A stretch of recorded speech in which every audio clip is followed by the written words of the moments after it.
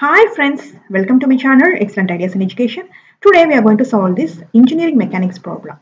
A horizontal line PQRS is 12 meter long and PQ is equal to QR is equal to RS equal to 4 meter.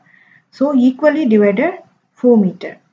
Forces of 1000 Newton, 1500 Newton, 1000 Newton and 500 Newton act at P, Q, R and S respectively with downward direction. The line of action of these forces makes angle of 90 degree, 60 degree, 45 degree and 30 degree respectively with PS. What is given in this question? PQRS. So starting this is P. Last is S. PQ is equal to QR is equal to RS. So equally divide. This is PQ, QR. This is Q, this is So this distance is 4 meter and this distance is 4 meter and this distance 4 meter. Forces of 1000 Newton is 90 degree. So first forces is 1000 Newton 90 degree. So we will draw the line downward direction you see the forces with downward direction. So the arrow comes downward. First force is 1000 Newton with 90 degree angle. Second, Q is 60 degree with 1500 Newton. So 60 degree means inclined with downward direction. This is 1500 Newton, 60 degree. Next, 45 degree with 1000 Newton. This is also inclined. 45 degree with 1000 Newton. Next 500 Newton at 30 degree. So here comes 500 Newton with 30 degree. What we will find in this question, find the magnitude, direction and position of the resultant force. So what we will do, magnitude of the resultant force, we will find horizontal force, vertical force and magnitude of the resultant. Now we will solve this problem. First, magnitude of resultant force. Resolving all forces horizontally. You see the first force given as vertical, second, third and fourth is inclined. So how we will resolve these forces vertical and horizontal? First, we will draw vertical and horizontal for all the forces. Now we will draw the horizontal and vertical line. You see the arrow, arrow comes downward. So downward means the arrow comes this side angle is here. So the angle comes this side. So angle side is always cos. Another side is sine. Now we will resolve these forces. This horizontal and vertical line. Angle side is here 45 degree. This side is always comes cos. Another side comes sine we will resolve the forces vertical and horizontal. So draw the horizontal and vertical line. Angle side is here, angle side is always cos, other side is sine. Here, how we will take horizontal, horizontal is comes this side. So the angle is here 90 degree. So this is cos, here is sine. Now we will solve this problem. Forces horizontally. Remember this graph. Here is x, here is y. y is vertical, x is horizontal. Now we will find horizontal. So horizontal is this side. Summation of h or summation of f of x. This direction is positive. Equal to First, we will see the horizontal force. The first horizontal force is opposite. So this side is always negative. So minus 1000 cos 90 degree. Next, we will see here horizontal force always opposite this also minus 1500 cos 60 degree. Next, you see the horizontal. So the arrow goes down. So down means arrow comes this side. So this is opposite side. Opposite side is always minus. So the angle side is always cos. So this side is cos. Minus 1000 cos 45 degree. Next, you see here arrow goes downward. Downward means this arrow comes this side. The opposite side horizontal force is minus. So minus 500 cos 30 degree equal to minus 1000 cos 90 is 0 minus 1500 into cos 60 is 0.5 minus 1000 into cos 45 is 0.707 minus 500 into cos 30 is 0.866 Summation of H is equal to minus 1890 Newton. Next, resolving all forces vertically. Vertical means Y. Summation of V or summation of F of Y. So vertical means it goes up. This is positive.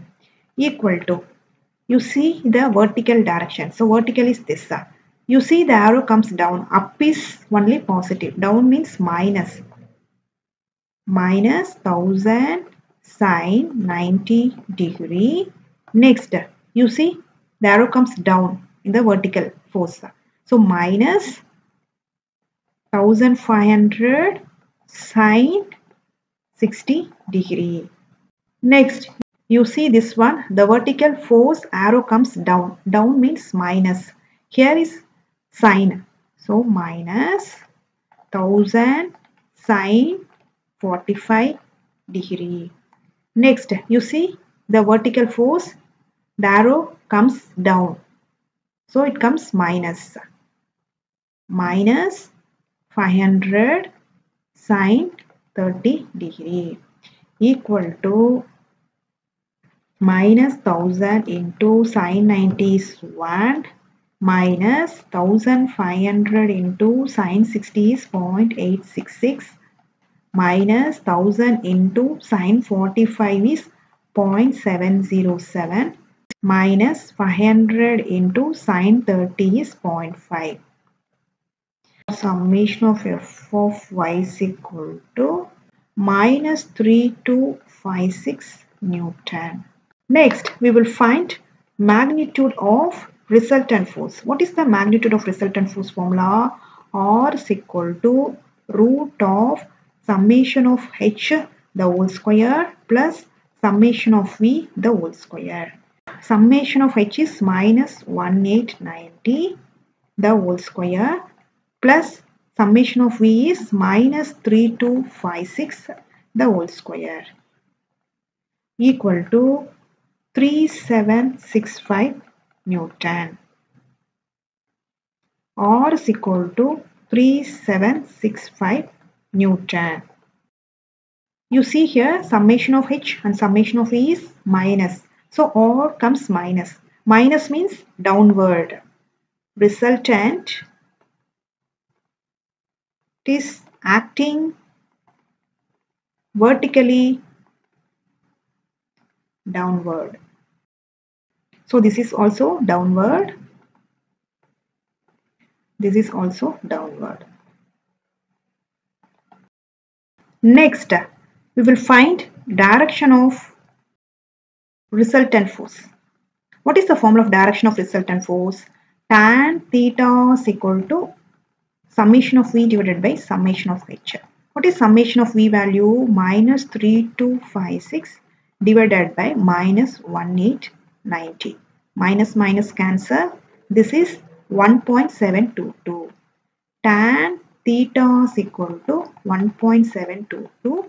Theta is equal to tan inverse of 1.722. Theta is equal to 59.8 degree. Approximately 60 degree.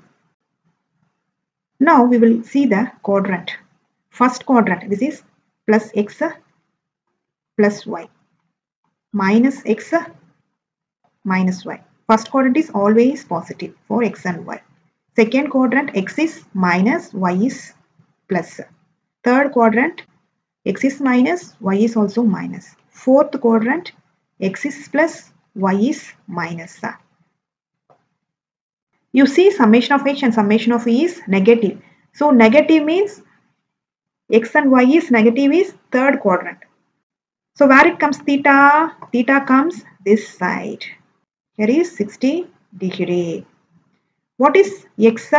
x is 1890. What is y? y is 3256. So what we need to find? This position we need to find. P2Q. This x value we need to find. This is the position of the resultant force. Next, we will calculate position of resultant force. How we will find position of resultant force? Let x be the distance between P and the line of action of the resultant force. Now we will use Varignon's theorem.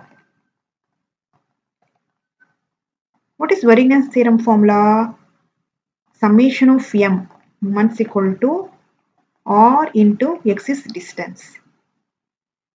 What we need to find? Summation of m p. This distance only we need to find. So we will take it as p. Now we will find summation of m p. Moment clockwise is positive, anti-clockwise is negative. We will take clockwise. Which one we need to find? Up to here only we need to find. This is the position of the resultant force. Summation of MP. So MP means this is the P. So we will take from here. So this moment is always 0. So we will go next to this one. First is always 0. Next plus. You see from here to here draw the circle. Circle means you see the arrow is comes down. So circle, you draw the circle, the arrow comes clockwise only. So clockwise means always positive. Plus, I'll draw here. Here is cos, here is sine. The same way here is cos, here is sine. Here is cos, here is sine. So we will take only vertical. So vertical this is comes downward and arrow comes downward. Vertical only we will take. Now taking moment of the vertical components of the forces and the resultant force. So we will take the vertical. The vertical is sine. You see it comes positive or negative. Moment is always positive for clockwise. So we will draw the circle. You see the arrow goes clockwise only. I'll show here. Draw the circle. Arrow goes this side. If arrow goes up means it goes this side. So this side is anti-clockwise. This side is clockwise. Clockwise is positive, anti-clockwise is negative. Next is 1500 sine 60 into what is the moment? Moment is equal to force into perpendicular distance. Which distance? We will take this one. P, right? So P means it comes this side. So 4. Next, we will see this one. You see the arrow goes clockwise. Clockwise is positive.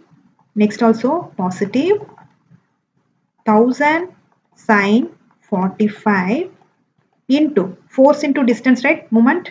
So what is the distance up to here to P? So 4 plus 4, 8. Next, uh, you see the arrow comes down. You see arrow goes clockwise. Clockwise is positive. next also plus 500 sine 30 degree into what is the distance here to here up to P.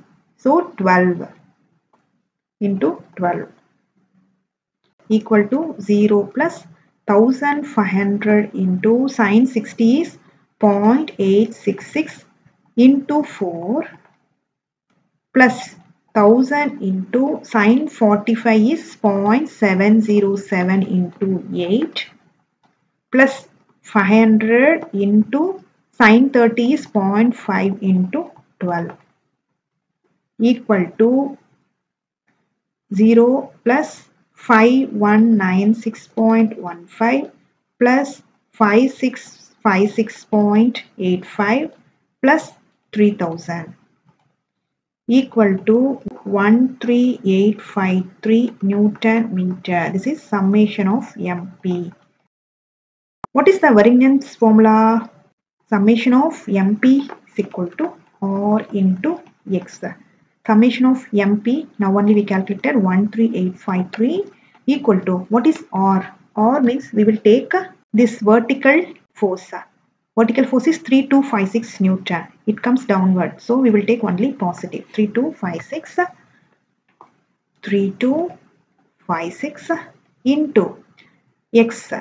x only we need to find 13853 divided by 3256 equal to x. What comes this one? 4.25 meters equal to x. So this value is 4.25.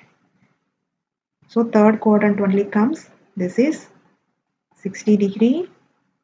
Here is 3256. Here is 1890 we need to find this to this distance. This is x this is p. This only we need to find. 3256 into x equal to summation of moment of p. So we'll get x value. Resultant is 3765 newton downwards. Theta is 60 degree. X is equal to 4. 25 meter. This is magnitude of resultant force. This is direction of resultant force. This is position of resultant force. This is the answer. Thanks for watching this video.